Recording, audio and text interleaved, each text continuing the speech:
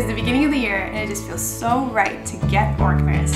And one of the things on my to-do list is to sort through our paper filing system. We've all got them, we've got to keep some sort of paper records, and they can just get a little bit out of hand. And so today is the day that I'm going to tackle our filing system, get some of the paperwork that is outdated out of there, and get some of the new stuff that I've been keeping in this little filing box into the files where they belong and get organized. Now there are many ways that you can organize your filing system and paperwork and so I'm not saying this is the only way but this is the way that I've done it now and hopefully this can give you some sort of roadmap to what you could potentially do to organize your filing system. Obviously if you are here you have some paperwork to organize as well and so even if this just serves as a little bit of inspiration for you to get going I hope this can be helpful to you.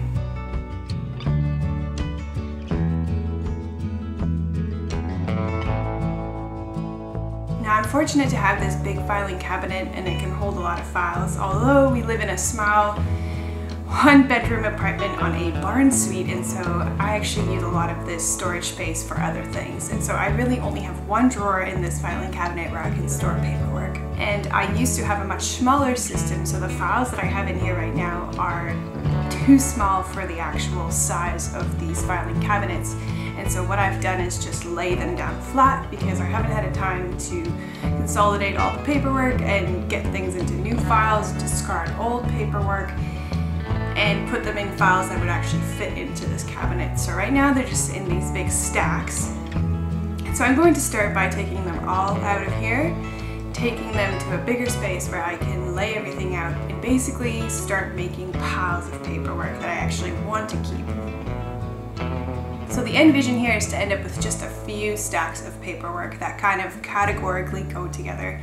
And that way I don't have many files that kind of, you know, require a lot of filing, but I just have a few basic categories and I know I can just slip the papers into these files and if I'm looking for something, it'll be in the general area of that file. I don't need very specific files. I only have about six big folders right now, so that's my goal. So I'm bringing all of the paperwork here to the living room where I can get a big overview on everything that I have and start making piles in a big area and start to sort of minimize what I have and sort out getting a rough idea of what kind of categories I'm working with. So at the beginning here, I don't really know all that I have. I have some vague idea of what's in these filing systems, but there's a lot of stuff here that's surprising me. So I'm just starting piles and kind of putting things together that seem to go together, and I will consolidate that more and more as I go on here. But the biggest thing is that there is a bunch of stuff that is totally outdated. So this is why it's so important to update your filing systems and go through them about once a year because there is stuff that you thought was important a year ago to keep that really isn't that important to keep and you're just holding on to paperwork that is taking up space in your house unnecessarily. Now I am making a giant pile of stuff to recycle and get shredded so that feels really, really good.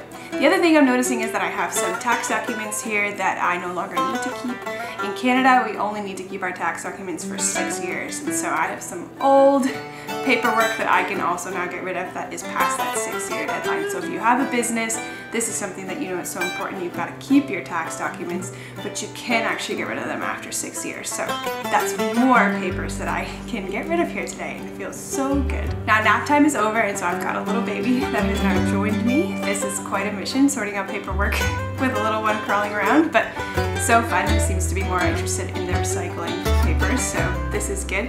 I'm gonna keep motoring on here. So I ended up grabbing a recycling bin because I have so much paperwork to throw out. It's just all over the floor here. So I'm grabbing a recycling bin and just discarding everything right into here now. I can take this to our local shredding place for the important stuff that's in here that I may not want to go directly to the recycling. But this feels so good. Getting it all in a bin, ready to get going. This is what this day is for.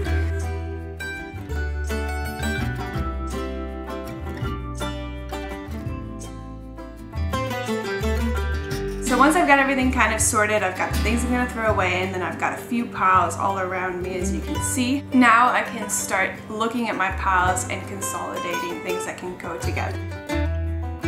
Now how I'm going about this is I'm deciding how I'm going to file this paperwork based on the filing stuff I have right now because I don't want to go buy new stuff because I have stuff already. So I already have these large green folders that would fit perfectly into our filing cabinet. Now they were in these smaller green ones, but they don't fit into the filing cabinet. So I'm going to transfer from these little green ones to the bigger green ones.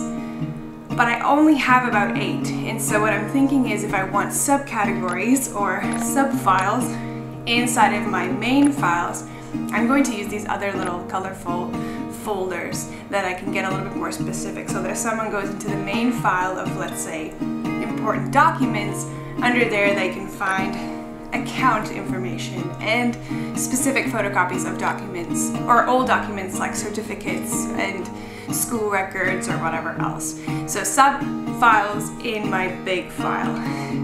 That's the direction that I'm gonna go with. Now you can go in whatever direction. There's lots of other alternatives. If you don't have files, you can use envelopes. I have in the past, when I didn't have files, just taken a little piece of paper, folded it over my set of documents, and then covered that with a elastic band, which held all of it together, and then I would just name the little paper on the side. So you can get really creative. You don't need to use files, you don't need to use a filing cabinet, you can just use a random old box, envelopes, or even just a little piece of paper with a paper clip and name the paper. Any way that whoever else ever needs to come and access the files, if they need to find information, they can find it. And also for you, next time you visit your files, you can find things easily. That is the point. So now that I have my rough categories laid out, I am starting to sort of consolidate even more. I have my little sub files, and so I'm starting to name these sub files so that I can get the documents into my main folders. So my main folders, I'm just using tags that I already had, folding over the information that was written there and writing some new information and sliding it back into this little plastic tab. These are so handy because if you're looking in your filing cabinet, if you've got one, it's so nice to see a little tag sticking out with the information right there and you can just quickly get right to the file that you're looking for. So this is a nice and clear way of doing it. If you don't have some of these plastic little tags, you could use a little sticky note and write on the tip of that and can help you to easily spot a file that you're looking for. In the past, I've also used old business cards and cut them up because they're a little bit more solid and you can just tape them right to your file and right on the back of them. So that's another way that you can store with your filing systems without having any fancy gadgets.